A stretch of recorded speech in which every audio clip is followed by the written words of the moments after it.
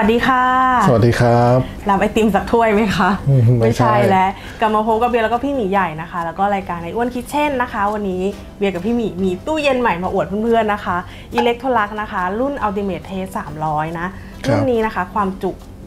341 ลิตรนะคะ ตู้นี้นะ กี่คิวอะพี่หมี 341 ลิตรประมาณ 12 คิวครับ 12 คิว ก็พอดีเลยแบ่งกัน 2 คน จริงๆ 12 คิวอะ3คนถึง 4 คนก็ยังพอนะ อืม เนาะแต่เราขนมเยอะไงก็ของเบียร์ทั้งนั้นอะบางคนเขาก็ใช้นะ ตู้เนี้ยสองคนอะไรอย่างเงี้ยนะครับโอเค ก็อีกเหตุผลหนึ่งนะคะ ที่เบียร์พี่หมีเลือก Electrolux เพราะว่าเป็นแบรนด์คุณภาพมาจากประเทศสวีเดนเลยใช่นะนะครับ แล้วก็มีชื่อเสียงในเรื่องของอายุการใช้งานที่ยาวนานด้วยนะครับยี่ห้อนี้ใช่ค่ะ เพราะว่าเบียร์จำได้ว่าเครื่องซักผ้าเครื่องแรกบ้านเบียร์ก็ใช้ Electrolux เนี่ยแหละอืมนะคะ แล้วก็วันนี้เบียร์กับพี่หมีไม่ได้มาอวดตู้เย็นอย่างเดียวนะ เบียร์มีเทคนิคการจัดตู้เย็นนะคะ ในช่วง work from home นะคะ จัดยังไงให้ของสดอยู่ได้นาน ไม่เหลือทิ้งนะคะ แล้วก็ไม่ต้องออกจากบ้านบ่อย ๆ ด้วยนะคะ ดี๋ยวเรามาเริ่มการจัดตู้เย็นกันเลยนะคะ ตะกร้าแรกของเรานะคะ ประเภทเนื้อสัตว์นะ ส่วนมากเบย์ก็จะซื้อเป็นพวกเนื้อหมู เนื้อวัวนะคะ แล้วก็เนื้อปลาอะไรเงี้ยเนาะ เนื้อหมูเนี่ยเวลาซื้อมาเบย์ก็มาทำความสะอาดนะคะ แล้วก็เอามาหั่นแบ่งนะคะ ใส่กล่องเป็นพอชั่นที่จะใช้ในแต่ละครั้ง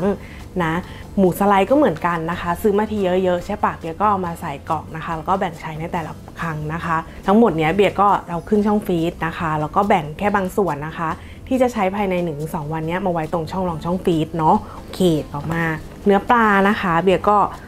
ซื้อแล้วก็ให้เขาทำเป็นชิ้นๆแบบนี้ให้เลยนะคะ ส่วนใหญ่ก็ใช้เขาทำแบบนี้แล้วก็แพ็คมานะอันนี้ก็เก็บเข้าตู้เย็นได้เลยนะคะ แต่ว่าตั้งแต่มีตู้เย็นตู้นี้นะคะ ตรงช่องรองช่องฟรีซนะเขาก็มีฟังก์ชัน Taste Seal นะคะ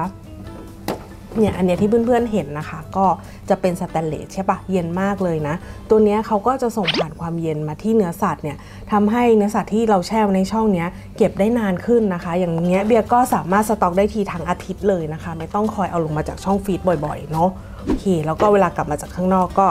หยิบใช้ได้เลยสะดวกด้วยนะคะ ประหยัดเวลากับนนี้ หมูสไลด์นะคะ ก็ใส่กล่องนี้ กล่องอันนี้แบนๆน่ะมันดีมากเลยนะ มันแบบประหยัดเนื้อที่อะวางซ้อนกันได้เยอะเลยนะคะ แล้วก็อันนี้เนื้อปลานะ ก็เป็นแพ็คๆแล้วก็ใส่ได้เลยนะโอเคแล้วก็มาถึงตะกร้าต่อไปนะคะ เป็นพวกผักสดและผลไม้นะคะ ปกติเบียร์ก็จะชอบซื้อเป็นผลไม้พวกแอปเปิลสาลี่อะไรเงี้ยกิวีหรือว่าผลไม้ตามฤดูกาลเนาะแอปเปิลกับสาลี่เนี่ยง่ายก็คือเวลาซื้อมาเบียร์ก็จะมาห่อ wrap แบบเนี้ยก่อนที่จะเข้าตู้เย็น เพราะว่ามันจะช่วยทำให้กักเก็บความชุ่มชื้น ใน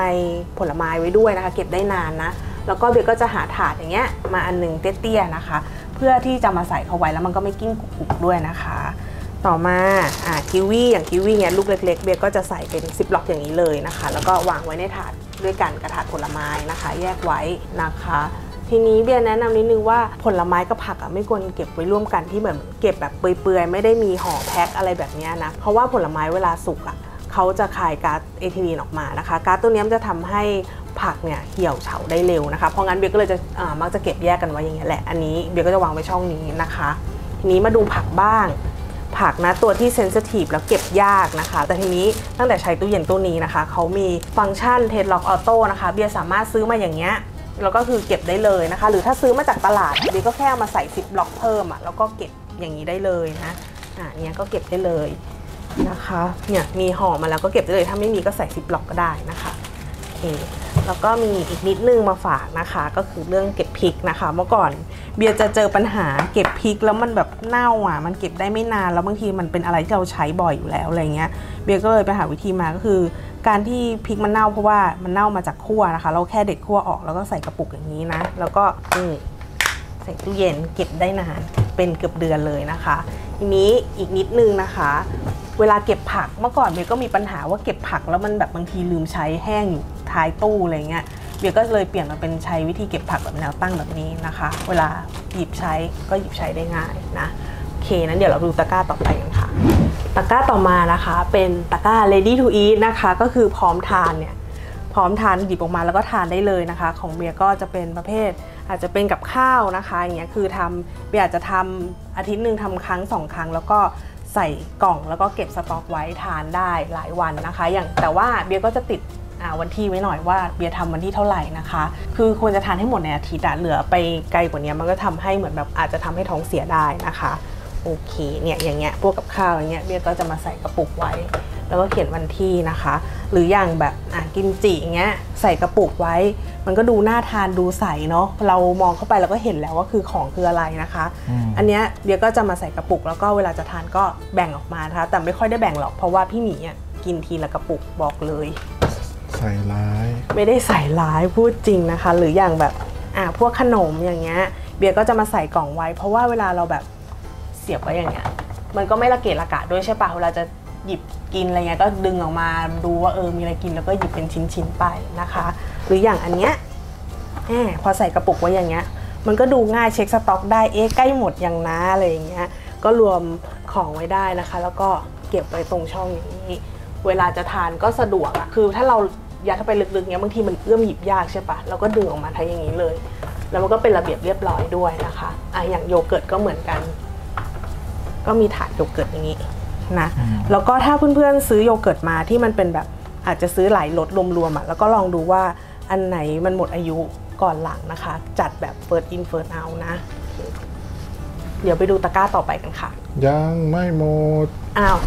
ยังไม่หมดเหรอ eat me first อ๋อ pleaseเออ ลืม ขอโทษ ขอโทษ ตะกร้านี้นำเสนอมาก ตะกร้า eat me first นะคะ มันทำให้เบียร์แบบลดปริมาณในการทิ้งของในตู้เย็นได้เยอะเลย เพราะเมื่อก่อนอะ ชอบเก็บลืมนะคะ แล้วก็มันต้องทิ้งเสียดายของเนอะตอนนี้เบียร์ก็เลยขยันที่จะมาคอยเช็คของนะคะอาของอันไหนที่แบบใกล้หมดอายุนะคะพวกของสดอีก2อสวันหมดอายุแล้ว หรือว่าของแห้ง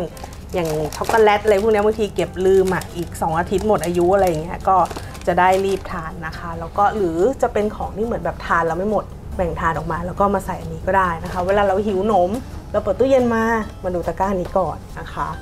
นี่ติดป้ายไว้ eat me first นะคะ เดี๋ยวไปดูตะกร้าต่อไปกันค่ะ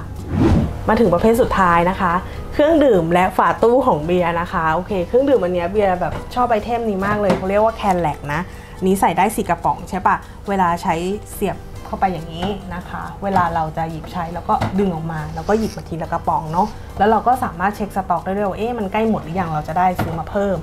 นะโอเค มาดูที่ฝาตู้บ้าง ตรงช่องนี้นะคะ เบียร์ก็จะไว้ วาง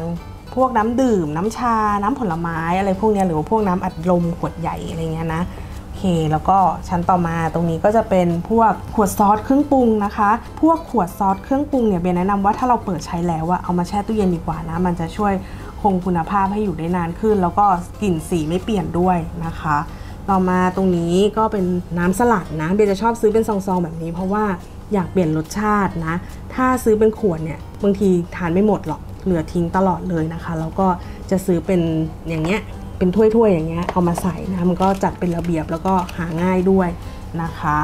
ต่อมาตรงนี้ชอบมากนะคะ ช่อง water steam นะคะ ตัวนี้ก็สามารถจุน้ำได้ถึง 4 ลิตร ซึ่งเบียร์กับพี่หมีอยู่ 2 คนเนี่ยทานพออยู่แล้วนะพอมีช่องนี้เข้ามาใช่ไหมก็ทำให้ช่องตรงนี้โล่งขึ้นเพราะแทนที่เบียร์จะแช่น้ำแบบ 1.5 ลิตร แบบ 3-4 ขวดเงี้ยมันก็จะว่างเพื่อ วางน้ำอย่างอื่นที่ไม่ใช่น้ำน้ำเปล่านะคะ แล้วก็เวลาวันหยุดอยู่บ้าน ทานน้ำบ่อยก็ไม่ต้องเปิดตู้เย็นบ่อยๆ ด้วยเปิดเข้าเปิดออกนะ เราก็กดน้ำที่หน้าตู้ได้เลยนะคะ ก็น่าจะครบถ้วนแล้วไหมพี่หมีอืมเหลือเรื่องหนึ่งที่แอบสงสัยอะอืม ว่าใส่ของเยอะขนาดเนี้ยกลิ่นมันตีกันไหมอ๋อ ปัญหาแม่บ้านมีกันทุกคนนะคะ เพราะว่าของในตู้เย็นน่ะเยอะจริง ๆ แล้วก็บางทีปิดเอาไว้มันก็มีกลิ่นตู้เก่าอะมันมีปัญหาที่ว่าใส่ของกลิ่นแรงๆอะอืมแล้วมันไปอยู่ในน้ำดื่มด้วย อ๋ออาทิเช่น นี่เลยค่ะน้องทุเรียนของเราช่วงนี้หน้าทุเรียนด้วยนะ ก็ส่วนมากพี่หมีก็จะได้ดื่มน้ำฟิวชั่นน้ำทุเรียน infuse น้ำ infuse ทุเรียนใช่อืมนะคะ หรือว่าเขาก็อาจจะไป infuse กับอย่างอื่นด้วยนะคะในตู้นะคะ เมื่อก่อนเบียร์แก้ปัญหาโดยการใช้อันนี้นะคะ มันจะเป็นเหมือนพวกคาร์บอนน่ะเราก็มาวางตามตู้อาจจะวางตรงนี้ หรือว่าวางตรงนี้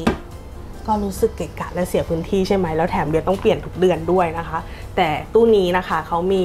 ฟังก์ชัน TasteGuard นะช่วยกำจัดกลิ่นที่ไม่พึงประสงค์ในตู้นะคะ เพราะนั้นเปิดมาก็ไม่มีกลิ่นรบกวนที่เราแบบเออไม่ happy เนาะโอเคก็น่าจะครบถ้วนแล้วนะพี่หมีนะ แล้วก็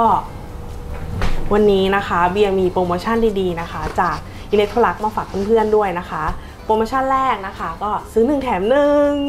ซื้อตู้แถมตู้ ไม่ใช่ ซื้อตู้เย็นแถมไมโครเวฟ Electrolux นะคะ ที่บ้านมีก็ใช้อยู่นะเออใช้ดีด้วยนะคะ แล้วก็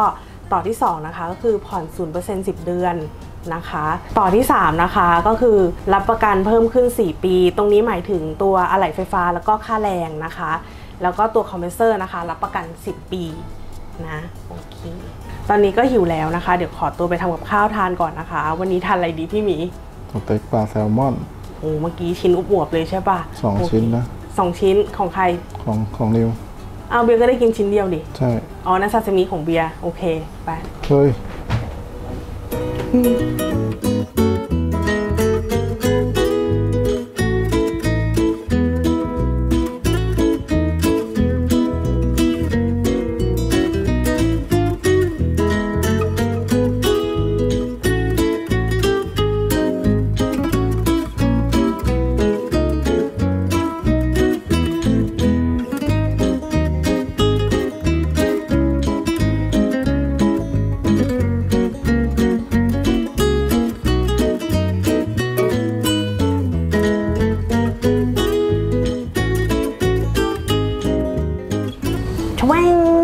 แล้วนะคะสำหรับสเต็กปลาแซลมอนแล้วก็สลัดผักของเบียร์นะคะ ก็สไตล์แม่บ้านกึ่งสำเร็จรูปเนาะโอเค